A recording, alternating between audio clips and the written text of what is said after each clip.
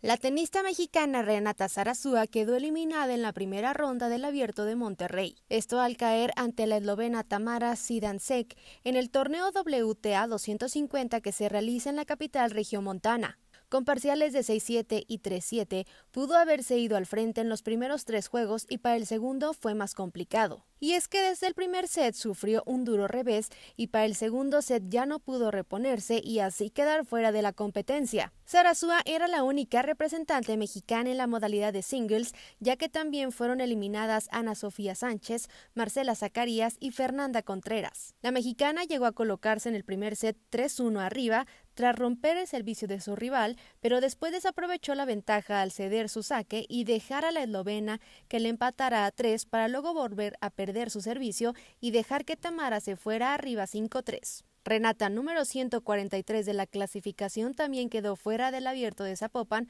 por Ana Carolina Ishmetlova.